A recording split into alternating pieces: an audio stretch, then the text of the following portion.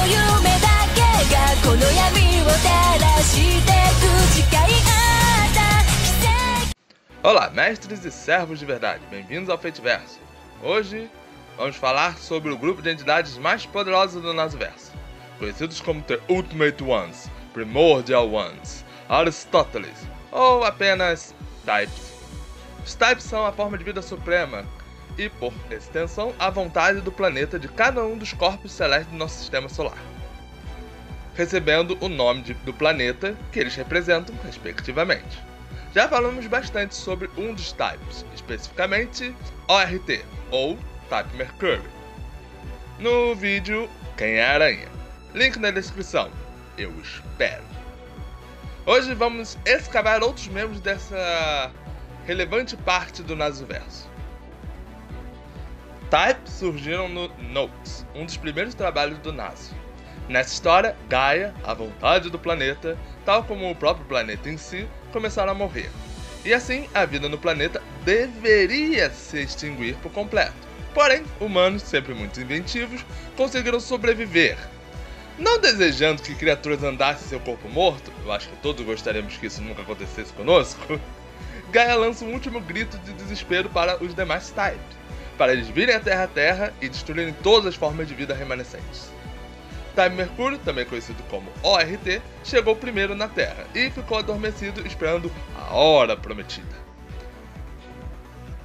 Os demais Type apenas chegaram algum tempo depois da morte de Gaia. A humanidade já estava dividida entre humanos modificados, conhecidos como Liners, de certa forma é uma evolução natural dos seres humanos, sobrevivendo ao mundo morto, e os A-Rays, que foram os humanos modificados artificialmente para sobreviver nesse mundo destruído.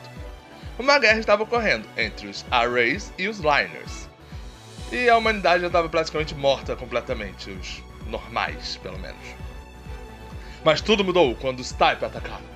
Pera, isso não é Avatar. Types tinham apenas um objetivo: exterminar todas as formas de vida do planeta, o que significava tanto os A-Rays quanto os Liners.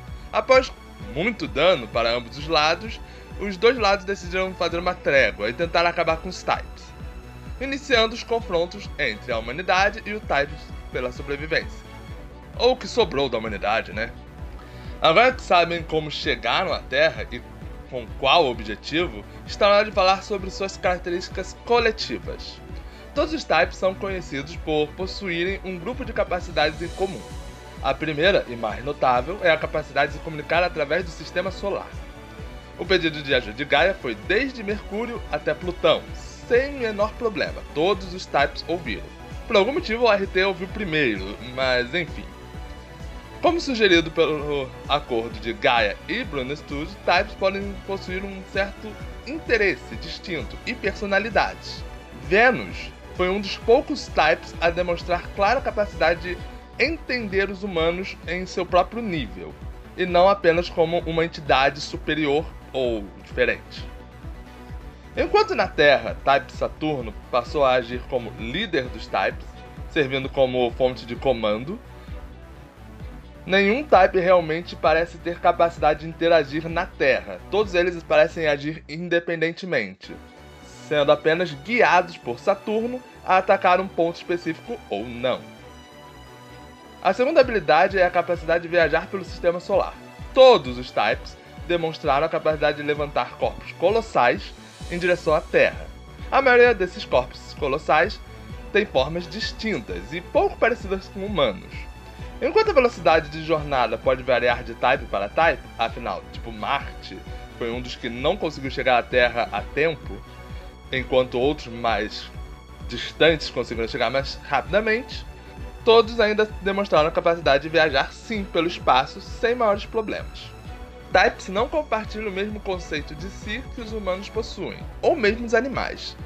Eles não possuem o conceito de dano ou morte, Tal como Gaia, a existência dele está atrelada ao planeta e não a seus corpos. Talvez explodir o planeta como Frieza faz consiga destruir um type. Naso constantemente deixa claro que cada type é capaz de limpar um planeta inteiro sozinho.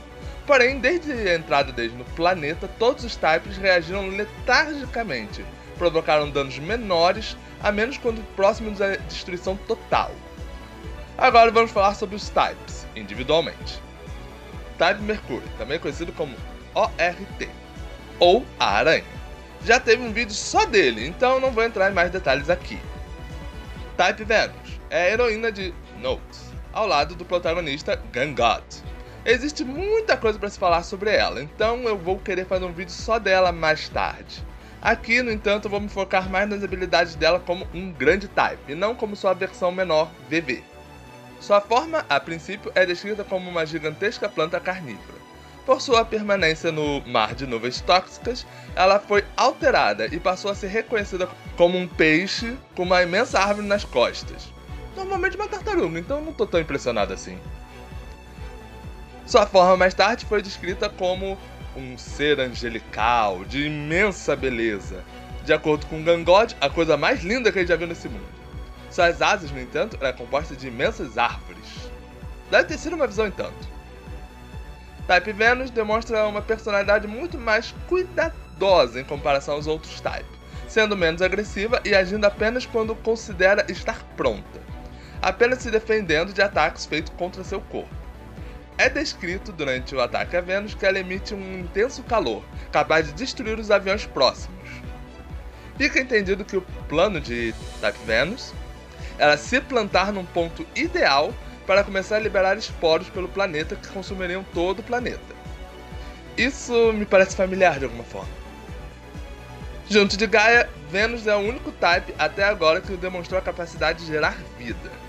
Muitos dos esporos transformaram-se em seres que se assemelham à forma final de Vênus, ou seja, criaturas angelicais. Após a sua, abre aspas, morte, fecha aspas, nas mãos de Gangod, Vênus passou a existir numa forma mais parecida como um parasita, digerindo a mente dos Liners e transformando-se numa entidade que se assemelha a um anjo, e passou a entender os humanos, conseguindo se comunicar e falar com eles. Novamente, vou entrar em mais detalhes dessa forma quando for falar só dela. Tipo Pluto, ou tipo, ou tipo Plutão. Destruído pelas Six Sisters, que confrontaram Pluto antes dele chegar no planeta em si. O sangue de Pluto foi usado para cobrir todo o planeta e agora ficou conhecido como o Céu Vermelho. Acredita-se que o Céu Vermelho foi transformado pelas Six Sisters em uma membrana que impede a entrada dos demais types no planeta, como Marte. Falando dele, Type Mars, ou tipo Marte. É desconhecido sua forma, ele não é mencionado em Note, possivelmente sendo um dos types incapaz de entrar no planeta devido ao céu vermelho. Type Netuno, não muito, também não foi descrito. Junto de Type Uranus, destruíram a maior parte da base Leaves of Yggdrasil, enquanto Vênus monitorava a base. Falando nisso, Type Uranus não foi descrito. Atacou junto de Netuno, uma das bases mais importantes da humanidade. Tipo Júpiter. Surgiu na aparência de um gigante negro, em contraste ao titã branco de Fate Stella. Bom toque ele ficou conhecido como The Black Aristoteles. Provocou um imenso dano no continente oriental. Seu corpo, na verdade, é composto de um gás de fótons negro, e no seu núcleo existe um sol artificial. Durante o combate em Notes, ele foi destruído por Ado Eden, um dos mais poderosos personagens do Nasoverso, pelo menos entre os humanos, entre aspas. Ele foi destruído antes da história de Notes em si, e sua destruição provocou uma reação no seu núcleo que devastou o continente oriental, matando a maior parte dos humanos e deixando só o Gangod vivo de sua família. Triste. Type Saturn. Também conhecido como a Cruz. Ele age como o líder dos Type, como já mencionei antes, dando ordens e coordenadas de ataque. Seu corpo se assemelha a uma cruz gigante composta de um mineral brilhante, não possível ver sua superfície em si. Após a morte de Vênus, Saturno vai em direção ao corpo de Vênus, que havia sido convertido numa cidade para os humanos. Várias tentativas são feitas para parar Saturno, e a história de Notes acaba num ataque a Saturno, onde Gangod e Ed Adon confrontam esse. Após a morte de Saturno, os demais types entram em Berserk e começam a provocar uma imensa destruição, especialmente Uranus e Netuno. Saturno também é dito ser capaz de lançar ondas de choque que formam cruz, deixando uma marca de cruz enorme onde é, é Evangelion, né? Além desses types, também temos pelo menos três types é, especiais que foram adicionados ao longo do tempo.